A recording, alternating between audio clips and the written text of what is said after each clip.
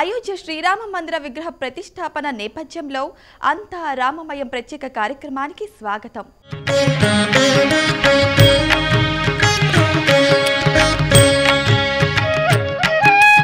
అయోధ్య పట్టణం మొత్తం పండగ వాతావరణం నెలకొంది. శ్రీరామ మందిరంలో ప్రతిష్ఠించబోయే శ్రీరామ్లల్లా విగ్రహం తరలి రావడంతో అయోధ్య మొత్తం కోలాహలంగా మారింది. జై శ్రీరామ్ నినాదాలు మిన్నంటాయి. శ్రీరాములల్లా విగ్రహం ఆలయ గర్భగుడిని చేరుకుంది.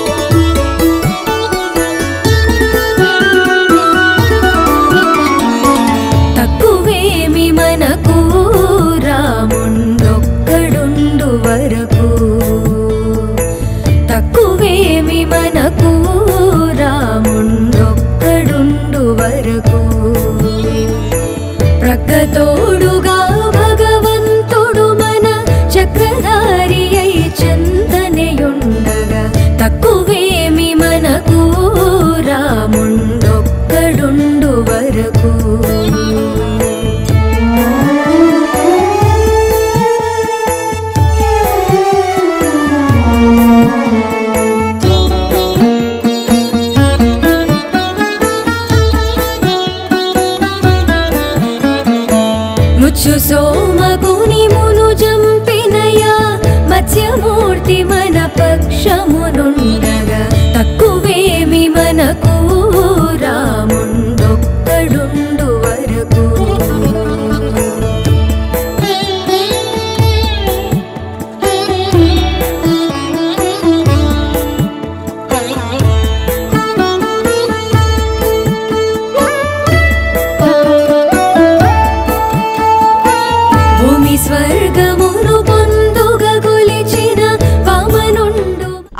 గర్భగుడిలో లామ్లల్లా కొరువుదీరాడు వేద మంత్రోచ్చరణల నడుమ కార్యక్రమం కొనసాగింది. ఇరవై రెండున ప్రాణప్రతిష్ఠ మహోత్సవం జరిగే వరకు రామయ్యకు రోజు ఐదు సార్లు ప్రత్యేక హారతి ఇస్తారు. అయోధ్య రామమందిరం గర్భగుడిలోని పీఠంపై రామ్లల్లా కొలువు తీరాడు. వేద మంత్రోచ్చారణల నడుమ ఈ కార్యక్రమాన్ని నిర్వహించారు. దాదాపు నాలుగు గంటల పాటు ప్రత్యేక పూజలు జరిగాయి. పూజల్లో శిల్పి అరుణ్ యోగిరాజ్ పలువురు సాధువులు పాల్గొన్నారు. ఐదేళ్ళ శ్రీరాముడిని తలపించే యాభై ఒక్క అంగుళాల పొడవైన నల్లరాతి విగ్రహాన్ని శాస్త్రోక్తమైన పూజలతో పీఠంపై ప్రతిష్ఠించారు. ప్రస్తుతం రామ్లల్లా విగ్రహాన్ని తెరతో కప్పి ఉంచారని విగ్రహం కళ్ళకు వస్త్రం కట్టారని తెలుస్తోంది. గర్భగుడి ప్రదేశంలో ఉత్తరప్రదేశ్ ప్రత్యేక భద్రతా దళం సిబ్బందిని మోహరించారు. గర్భగుడి దగ్గరకు మొబైల్ ఫోన్తో వెళ్ళడానికి ఎవ్వరికీ అనుమతి ఇవ్వడం లేదు. ఇరవై రెండున ప్రాణప్రతిష్ఠా మహోత్సవం జరిగే వరకు గర్భగుడిలో రామయ్యకు ప్రతిరోజు ఐదు సార్లు ప్రత్యేక హారతిస్తారు ఈ కార్యక్రమంలో రోజు ఒక్కో రకమైన పవిత్ర వస్త్రాలతో రామ్లల్లాను ఆరాధిస్తారు. ఈ పూజలు క్రతువులను నూట ఇరవై ఒక్క మంది ఆచార్యులు నిర్వహిస్తారు. రామ్లల్లా ప్రాణప్రతిష్ఠకు ముందుగా శ్రీరామ జన్మభూమి ఆలయంపై స్మారక పోస్టల్ స్టాంపును ప్రధాని నరేంద్ర మోడీ విడుదల చేశారు. దీనితో పాటు రాముని చిత్రంతో కూడిన స్టాంపుల పుస్తకాన్ని కూడా ప్రపంచవ్యాప్తంగా విడుదల చేశారు. ఈ నలభై ఎనిమిది పేజీల పుస్తకంలో ఇరవై దేశాల స్టాంపులున్నాయి. మొత్తం ఆరు తపాలా స్టాంపుల్ని విడుదల చేశారు. వీటిలో రామాలయం గణేశుడు హనుమంతుడు జటాయువు శబరి మొదలైనవి ఉన్నాయి. ఇరవై రెండున అయోధ్యలో శ్రీరాముని ప్రాణప్రతిష్ఠ కార్యక్రమానికి సన్నాహాలు జోరుగా సాగుతున్నాయి. ఈ నేపథ్యంలో అయోధ్య నగరమంతా రామమయంగా మారిపోయింది. ప్రతి చోట జై శ్రీరామ్ నినాదాలు మార్మురగుతున్నాయి.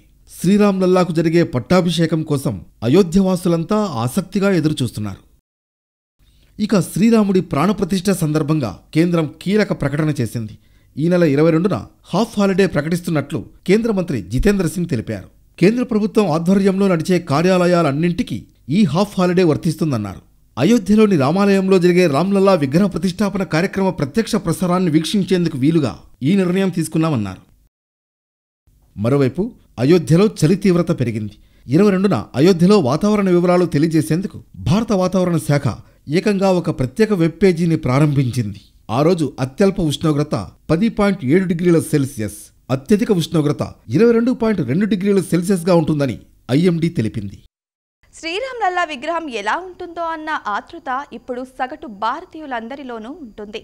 ఎప్పుడెప్పుడా అని ఎదురు చూస్తున్నారు విగ్రహ ప్రతిష్టా మహోత్సవం దగ్గర పడుతున్న కొద్దీ భక్తుల్లో ఉత్సుకత పెరుగుతుంది. ఆలయానికి తరలివచ్చిన శ్రీరామ్లల్లా విగ్రహానికి సంబంధించి ఒక్క ఫోటోను మాత్రం విడుదల చేసింది శ్రీరామ మందిర తీర్థక్షేత్ర ట్రస్ట్. అయోధ్య రామాలయం గర్భగుడిలో బాలరాముడి విగ్రహం పూజలు అందుకుంటుంది. రామ్లల్లా విగ్రహాన్ని కృష్ణశిలతో మైసూర్కు చెందిన యోగిరాజ్ మలిచారు. యాభై ఒక్క అంగుళాల పొడవు నూట యాభై కేజీల బరువున్న బాలరాముడు పూజలు అందుకోనున్నాడు. నల్లని కలువ తామరపై బాలరాముడి విగ్రహాన్ని చెక్కారు. కాశీకి చెందిన జ్ఞానేశ్వర శాస్త్రి ఆధ్వర్యంలో ఇవాళ రేపు ప్రత్యేక పూజలు చేస్తున్నారు.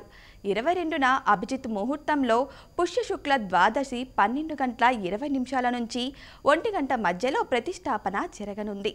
సూర్య తిలకం ఆకారంలో ఉన్న ఆలయంపై సూర్యకిరణాలు గర్భగుడిలో పడేలా అద్దాలను ఏర్పాటు చేశారు. సూర్యకిరణాలు గర్భగుడిలో పడేలా సిఎస్ఐఆర్ సిబిఆర్ఐ శాస్త్రవేత్తలు రూపకల్పన చేశారు.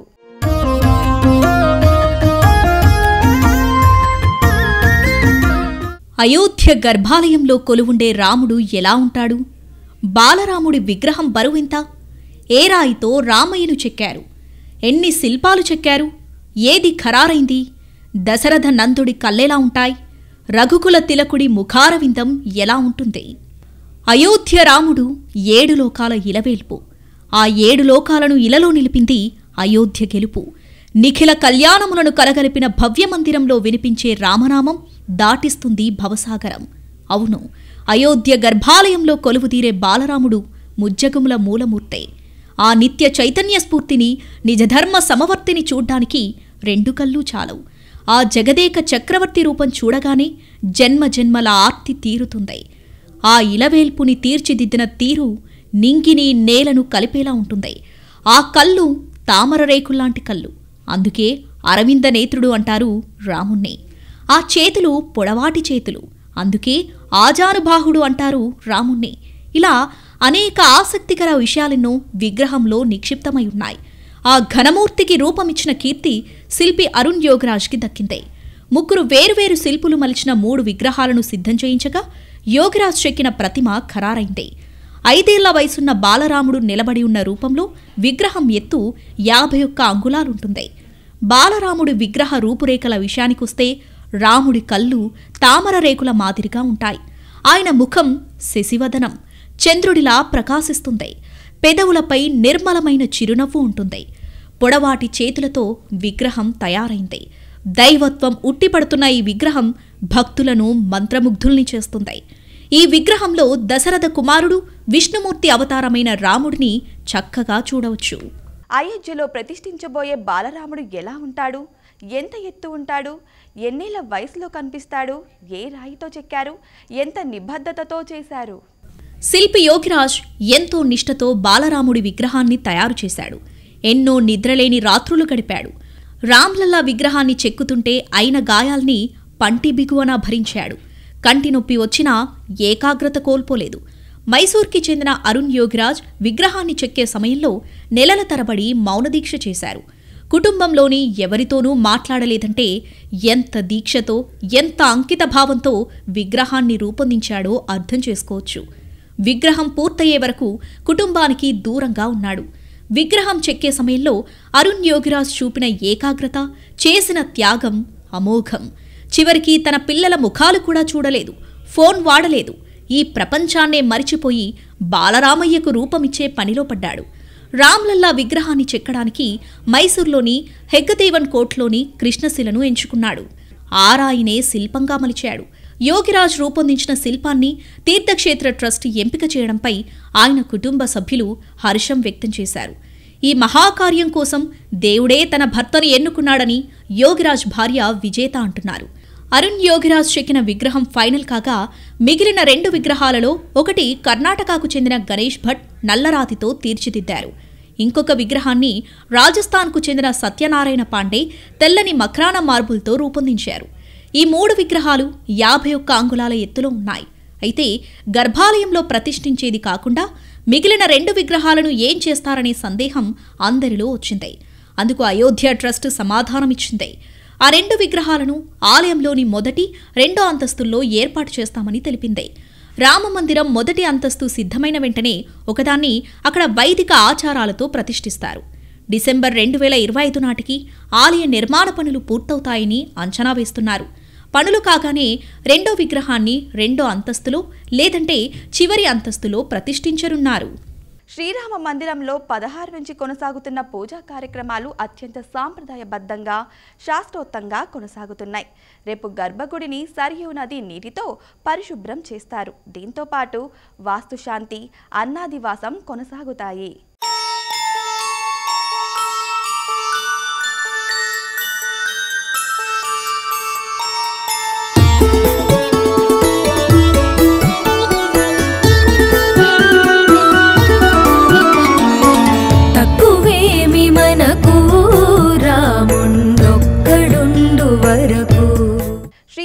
మందిర అద్భుత శిల్ప కళా సంపద భక్తులను మంత్రముగ్ధులను చేస్తుంది. నిర్మాణంలో ప్రతి అణువణువున శిల్పాలు కళ ప్రతిభ కనిపిస్తుంది.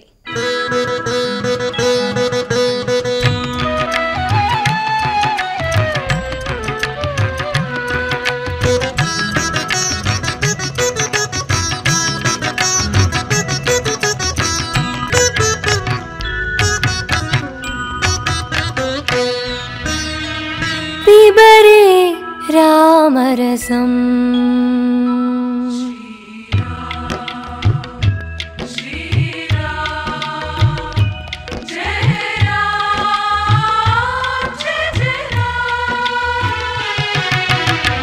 पिबरे रामरसं रसने पिबरे रामरसं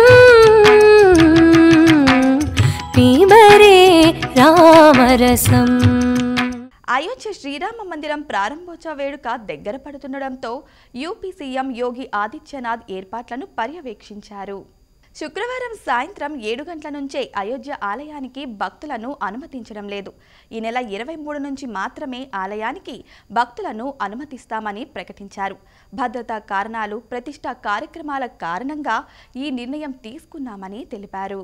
మరో మూడు రోజుల్లో శ్రీరామ్లల్ల విగ్రహానికి ప్రాణప్రతిష్ఠ వేడుక నేపథ్యంలో అయోధ్య నగరం ఆధ్యాత్మిక కళను సంతరించుకుంది. నగరమంతా శ్రీరామమయమైంది. ఎక్కడ చూసిన విద్యుత్ దీపకాంతులతో శ్రీరాముడి హోర్డింగులే.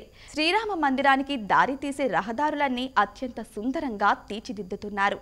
శ్రీరామ మందిరానికి ప్రత్యేక ఆహ్వానితులంతా వెళ్ళే మార్గం శ్రీరామ జన్మభూమి పత్ ఈ మార్గంలో నిర్మాణ పనులన్నీ యుద్ధ ప్రాతిపదికన సాగుతున్నాయి.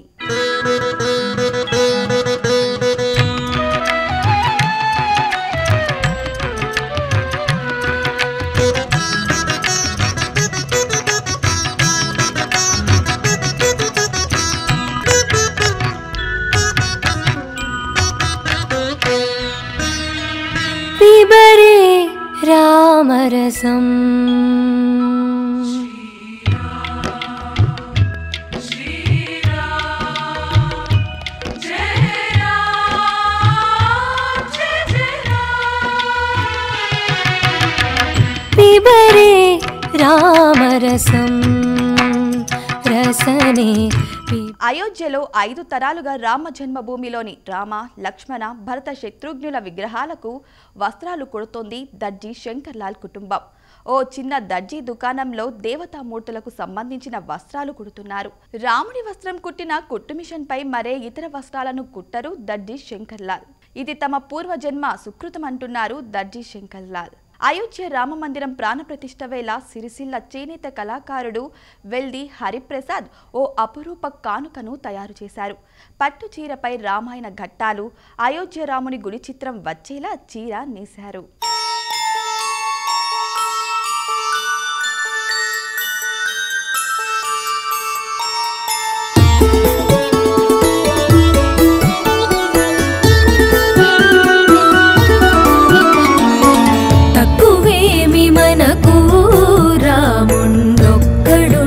വരും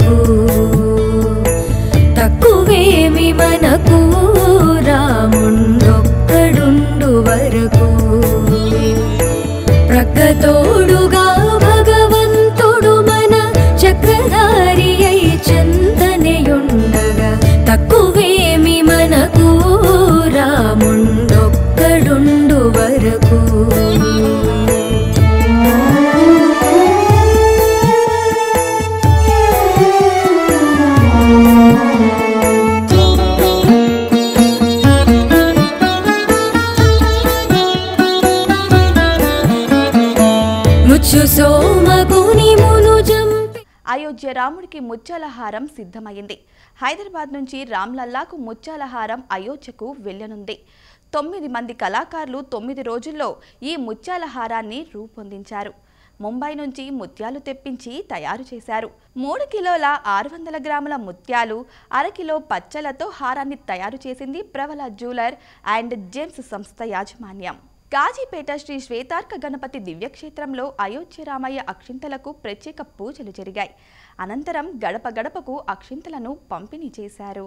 అయోధ్యలో రామ్లల్ల విగ్రహ ప్రతిష్ట నేపథ్యంలో వివిధ రకాలుగా అనేక మంది తమ భక్తి ప్రవర్తులను చాటుకుంటున్నారు. సిద్దిపేట జిల్లా గజ్వెల్ గ్రామానికి చెందిన రామరాజు బిస్కెట్లు ఉపయోగించి అయోధ్య రామ మందిర నమూనాను ఆవిష్కరించారు. ఇందుకోసం వెయ్యికి పైగా బిస్కెట్లు వినియోగించారు. భద్రాద్రి కొత్తగూడెం జిల్లా ఇల్లందులో అయోధ్య రామయ్య అక్షింతల ఊరేగింపు ఘనంగా జరిగింది. ఈ సందర్భంగా స్థానిక రామాలయంలో ప్రత్యేక పూజలు చేశారు. అనంతరం కరపత్రాలను ఆవిష్కరించారు.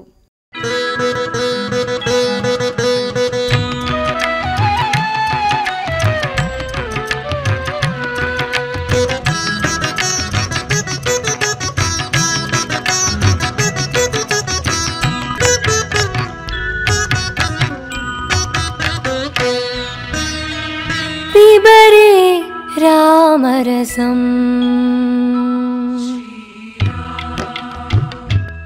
మరో ప్రత్యేక కార్యక్రమంలో మళ్ళీ కలుద్దాం. అంతవరకు సెలవు.